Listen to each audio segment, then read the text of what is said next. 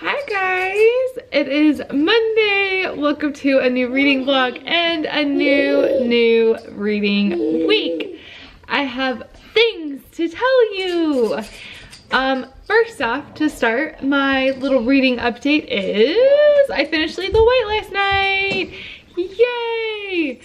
Um, to wrap things up on Lethal White, I gave it a four out of five stars because overall the good bumped it up from a 3.75 to a 4 honestly i could have done without the relationship nonsense to be completely honest. I felt like that was a little bit overdone overdone and over dramatic I mean, I've not been in that situation, so I can't say for sure what I would do, but just in terms of character and storyline, I don't think it was really necessary. Um, second, I think the whole ending kind of was a little bit too easy almost.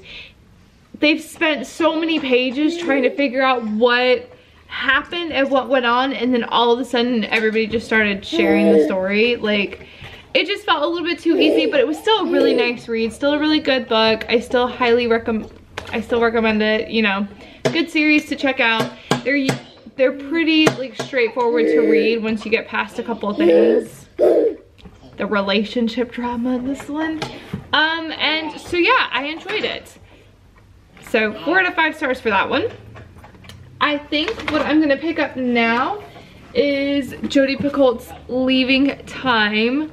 Um, this was on my like last TBR list that I did. It's kind of like um almost like a last chance read. I've had this book for a very long time. Do I want to admit how long I've had this book?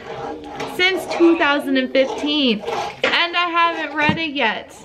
Um, I really do like, where did I even buy this from? Hold on, the, the receipts in here, that's the only reason I know it. I bought it from the a shop in the Columbia airport, Columbia, South Carolina. There we go. Bought this to read on an airplane and never read it. Um, I will say this is, this does like interest to me, obviously. I picked it up for a reason. This is the last book on the last TBR that I did. So, I mean, here we go. We're just gonna give it a shot. If I can't get into it, I can't get into it, but I need to at least try. It's kind of like its last chance to be read in my library before it goes bye-bye to somebody else's library. So, gonna start that one tonight and cross your fingers I get into it and we have a new book to read this week. Otherwise, I don't really know what I'm gonna read. So, hmm, here we go. Um, I hope you guys have had a wonderful start to your week. Good morning, guys. I want to take a few a quick update, I guess, as we are getting ready to head out the door and I wanted to bring you guys along with me to where we're going. More on that in a minute. Um, quick update. I started leaving time last night. I got eight pages in and started crying because Jodi Picoult just tumbles something in my soul apparently. Um, I am gonna continue on reading it though because I am intrigued. So, um, sorry, I'm kind of like cleaning up because like I said, we're getting ready to go somewhere very exciting. Somewhere that I haven't been in too long and I need to go back to. And that is, dun, -da, -da, the bookstore. That's right, we are going to the bookstore this morning. I'm gonna let the boys pick out a book for themselves. Oh gosh. I am gonna let the boys pick out a book for themselves that they want to, to get. And then I might pick out a book for myself. I don't know. I'm gonna actually stop. So I'm going to Barnes & Noble. There's a Starbucks next to Barnes & Noble. And I'm actually gonna get a coffee. I haven't had coffee in a really long time, but I feel like I just really, I want the full experience and I don't just wanna have tea this morning. I don't know. I'm just in a coffee mood. It's unusual, but it happens every once in a while. So I'm gonna have coffee, pick up some food, um, some breakfast, and yeah, I'll take you guys along with me. Kind of, sort of, maybe. We'll see. Yep. Hurry, come here. Look.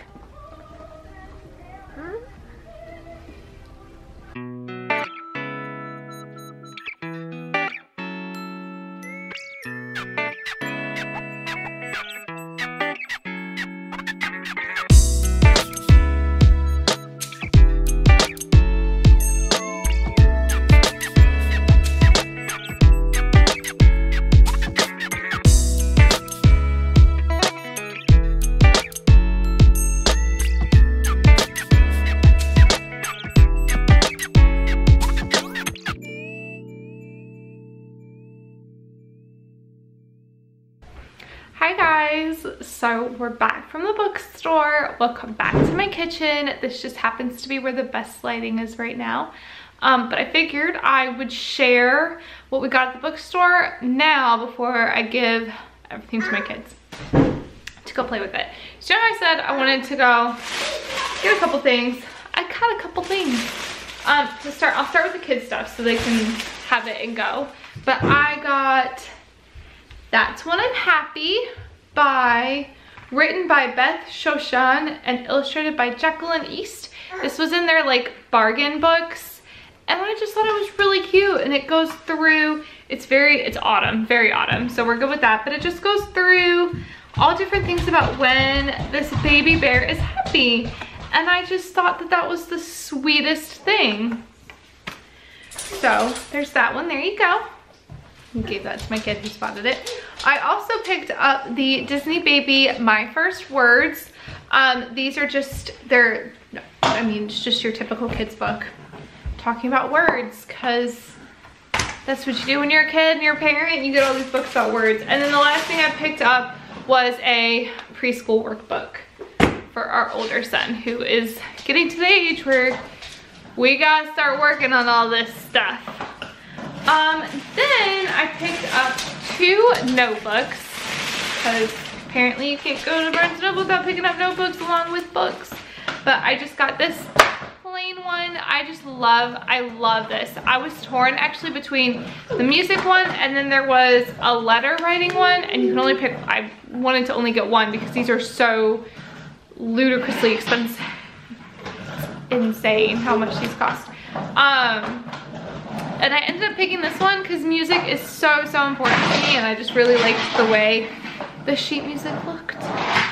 There's my planner explanation, planner, journal explanation for you. And then I also got a Write the Story. This was another bargain price one. Um, and this is just different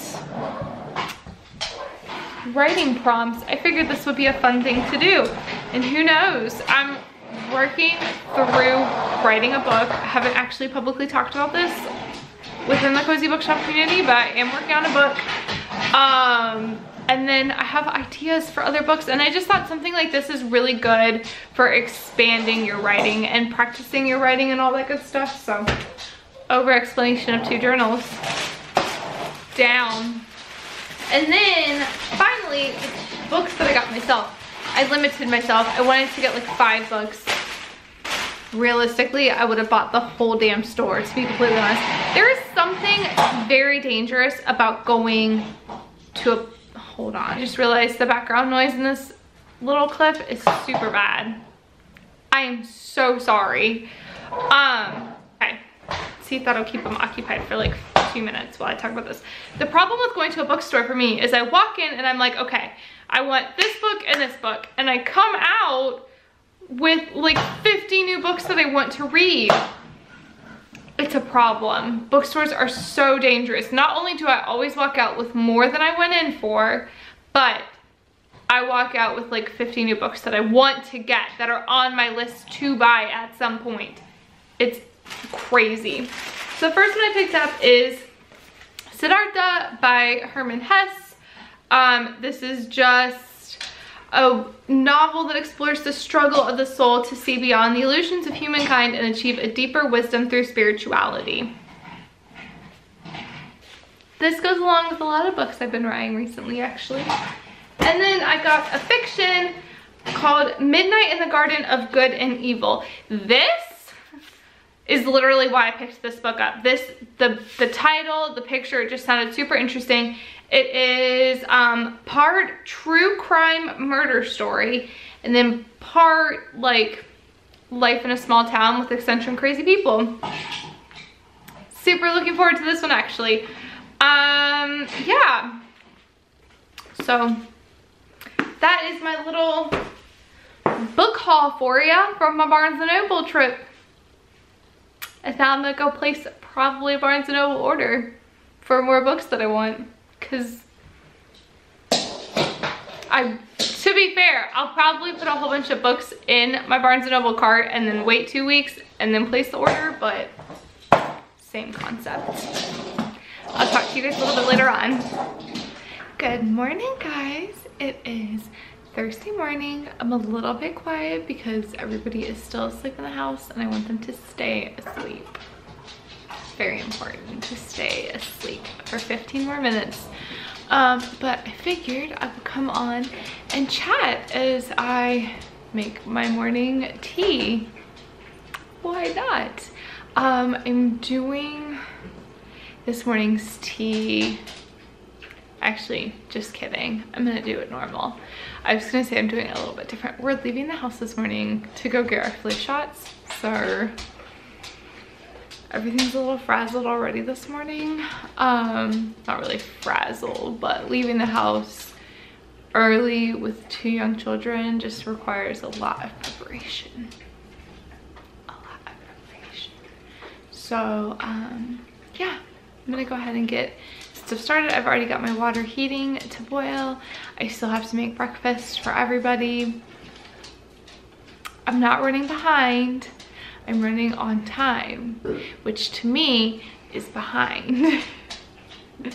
At least pre-children me, it would be like you're running behind. Post-children me is a little bit more like on time is good. On time is okay. Um, so yeah, I am gonna come back here in just a second. I'm gonna get my tea stuff and chat with you guys about Leaving Time by Jodi Picoult.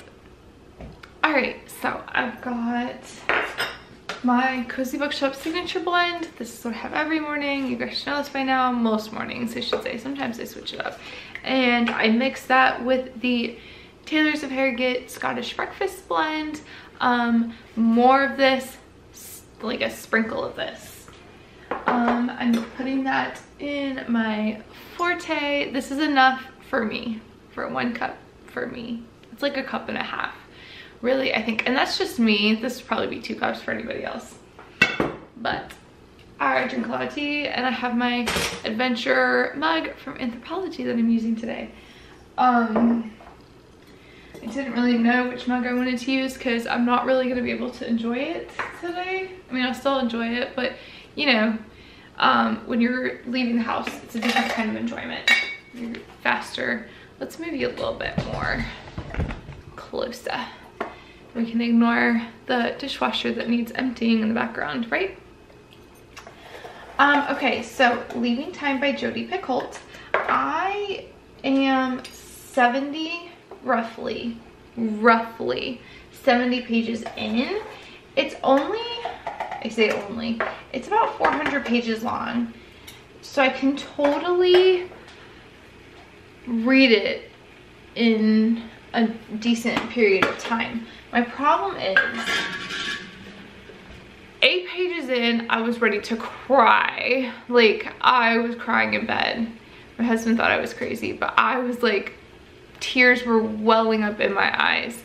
And I haven't got that feeling since then, if that makes sense. Like, I feel, now I feel a little bit kind of meh about it um not in like a bad way but in like a why why am i struggling to get into this right now kind of way?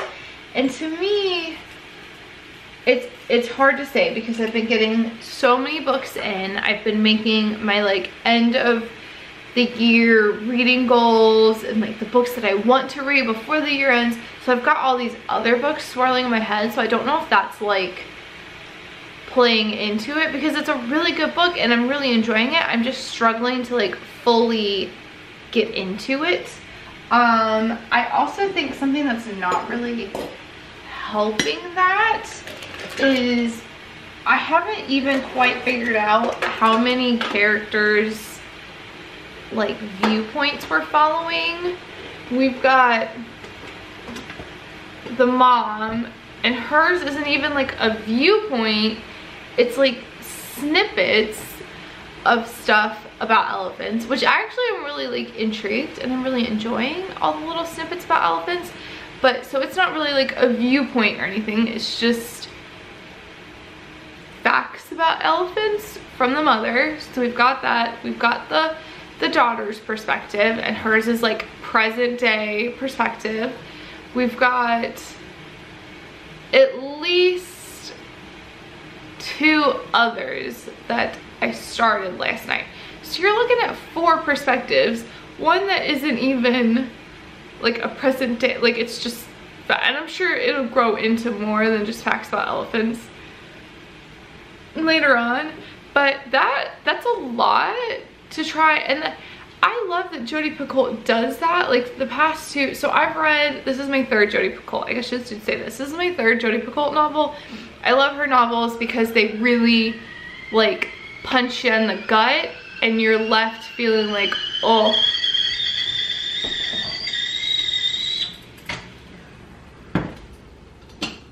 Shall we have a spot of tea now? Um, I love Jodi Picoult's novels because of that, because because she punches you right in the gut and you're just like, oh, like what just happened? And you're crying and you're trying to like sort through all your feelings. And I love that feeling. I love when a book just like does that. And it is so fantastic. But at the same time, like this is the most perspectives I think I've followed in a book so far. So I read 19 Minutes and The Storyteller. The Storyteller by far is one of my favorite books of all time. Like that book changed my life. Um, and I only say that about a few books. You've probably already heard it in recent weeks. But um, I loved that book and it made me want to read more of hers. But I just it's a lot of perspectives to follow and I, I just, I feel like I'm struggling right now. So, um, I'm gonna keep going though. Like I'm gonna give myself another like 50 to 100 pages to see if it is just, it could just be the fact that I'm like picking out all these other books and I want to read so many books right now and I just, I can't. Um, so that's, yeah, I'm like, I'm loving it. I'm really enjoying it. And like I said, I feel like we got that gut punch and now it's kind of just like working our way back from the gut punch to get to another gut punch. But I'm missing the like connection to that. So that's kind of sad, but it is what it is. Um, I didn't update you guys yesterday because I just ran out of time. We're we're moving um, in like four months. We're moving out of where we are now in like two and a half months. So it's like there's a lot going on. Um, which I've already kind of told you guys about a little bit, but yesterday we just had a lot of appointments to get to for that and a lot of just like admin things that we had to get done. Um, so I didn't really get a lot of reading done. I got a decent amount done last night, but I just didn't get a chance to update you guys. I didn't get a chance to read you, um, to do much reading. So that's kind of where I'm at right now. Um, I feel like I've done a whole lot of talking and not a lot of like talking. Like I feel like I've done a lot of this and none of it makes sense. And maybe that's because I just am not making sense to myself about this book. Maybe I'm trying to read too much into it. I don't know. I don't know. I just would hate to think, I don't think it's that the book is not for me. I, I think it's it's more of like a me issue than a book issue, um, to be completely honest. And that's okay. So, yeah, that's, that's kind of where I'm at with reading. That's my update. And I'm just gonna go back to making my breakfast and buttering toast right now. Um, and I will update you guys a little bit later on. I'm probably not today. Today's our wedding anniversary. So there's probably not gonna be a lot of reading going on today, tonight. Um, cause we're doing a little, I don't know, family celebration. I usually wanna spend some time with my husband in the evenings. Um, so Anyway, um, yeah, there probably won't be too much reading today, but I'm gonna try and get a little bit in um, if I can. But I'm not really gonna stress it. This weekend, um, we don't have much going on. I'm gonna try and take my kids to the park pretty much, but that's about it because husband's got a paper due in school. So he'll be writing all weekend. Um, but yeah, that is my very, God, long-winded update. I will check in with you guys a little bit later on. Good morning, guys. It is Saturday morning. And for the first time, like all week, I actually read last night. Like really read. Um, I'm on page 107 of Leaving Time by Jodi Picoult. Today is gonna be like my last attempt day at reading this book. If I can't really get into it and really make some progress with it, I'm gonna put it aside for now. I feel like Jodi Picoult really deserves my like full attention in a book and I'm just not giving that to be completely honest. So like I said, today is gonna be like my last attempt. If I can't read it, I'll put it aside and pick up something different. I don't know if it's just this particular book isn't there's something about it or if I'm just really excited to read the books that I've pulled out for the rest of the year. I don't know. But that's where I'm at. It's Saturday. We have no plans today. I'm just going to try and go for a walk, but it's kind of a gloomy, cooler day. So I think it's better if the kids don't go play outside, basically. So it sounds like a good day to spend all day reading. So that's what I'm going to do. I will bring you guys along with me and update you as I get some reading done. First and most important,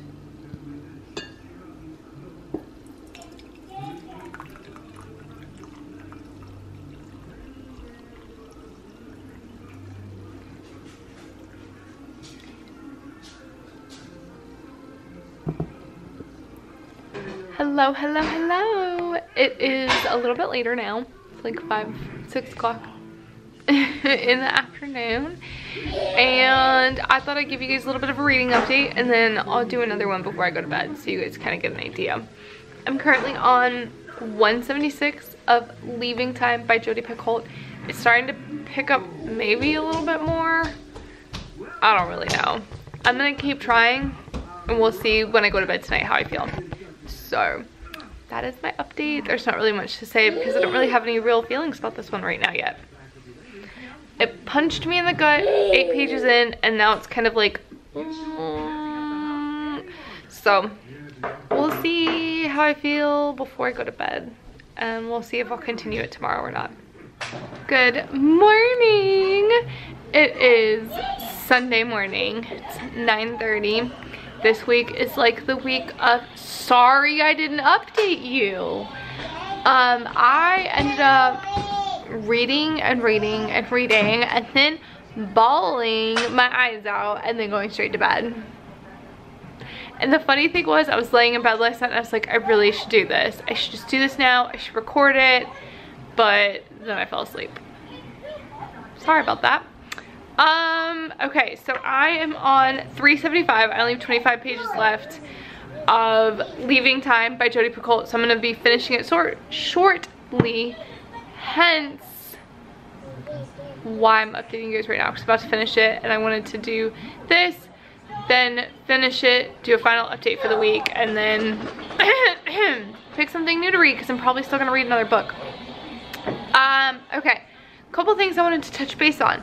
First of all, when I read a book and I get a little bit, there's a point that I get, it's probably a little bit over halfway through the book where I am like, I think I'm gonna give it about this rating. This is where I'm sitting at. And you guys will normally hear me say that. I'll normally be like, it's probably about a here. I didn't really do it for leaving time because let's be honest, this week has just been kind of a bad reading and vlogging week. So I didn't really like do that. I would have done it last yesterday, I think, if I did it all. If I did, good for you guys. And I will say, up until last night, I was quite honestly torn as to what I was gonna rate this book. I wanted to give it like a three and a half out of five because I really, something about the book wasn't resonating with me. Now I say this all because I'm about to like completely blow your mind, but up until yesterday afternoon, something about the book just wasn't really truly resonating with me. And then last night, I just hit the point where Jodi Picoult always gets you. And I cried and my rating went up to a four out of five stars. So I'm sitting at a four out of five stars for this book. Um, the writing, the story, it's beautiful. It's not, there's something about it that still doesn't quite resonate with me, which is why I'm at a four out of five stars, but it's a wonderful, wonderful book. So, I am gonna go finish it. I will come back in and let you guys know my final thoughts and chat with you then. Alright, it's like 45 minutes later and I finished Leaving Time by Jodi Picoult. I'm gonna give it a four out of five stars. I really enjoyed it. It didn't quite resonate with me like the storyteller did, but it was still a beautifully written, beautifully done story, and I really thoroughly enjoyed it. Um, I am gonna go ahead and wrap this reading vlog up for this week. Thank you guys so much for watching. Um, and I will talk to you guys next week.